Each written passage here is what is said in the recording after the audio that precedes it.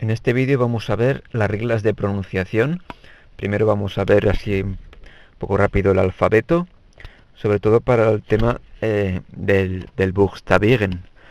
Eh, Buchstabieren es como en inglés spelling, entonces si tuviéramos problemas para entender una palabra es bueno saber cómo suena cada letra para hacer esta pregunta. ¿Können Sie eh, dieses Wort buchstabieren, bitte? ¿Puede deletrear esta palabra, por favor?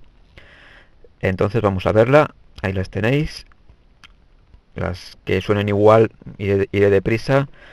A, B, C, D, E, F, G, H, la H hace H, I, J, J, J, K, L, M, N, O, P, Q.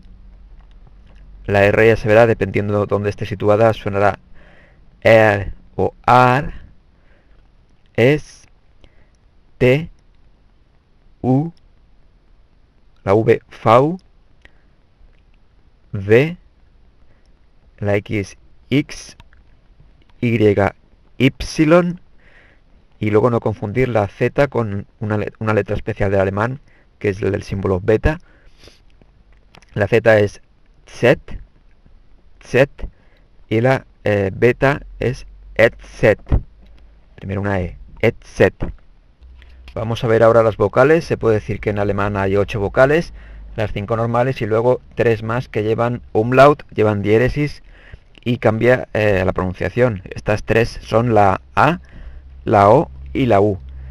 Que la A con umlaut hace el sonido un poco de la E española, eh, das vea, el oso, das vea. Luego la O que hace un sonido entre una, casi como una E, shen, eh, bonito, y luego la U con umlaut que hace sonido casi como una I. Fünf. Fünf. Cinco. Vamos con los diptongos. El primer sonido que puede haber es el sonido I, al que pertenecen esas combinaciones que estáis viendo ahí. A y latina, A, Y, E y latina, E, Y. Ahí tenéis el ejemplo del posesivo mine, que suena ese sonido ahí. Luego el diptongo AU se queda tal cual, suena igual. De a baum, el árbol. Luego tenemos el sonido OI para los, diptongos A con umlaut, seguido de U y el diptongo EU. Ahí tendríamos die Leute, la gente, o die Fräulein, la, la señorita. Y luego finalmente tenemos el diptongo IE, que hace sonido I larga.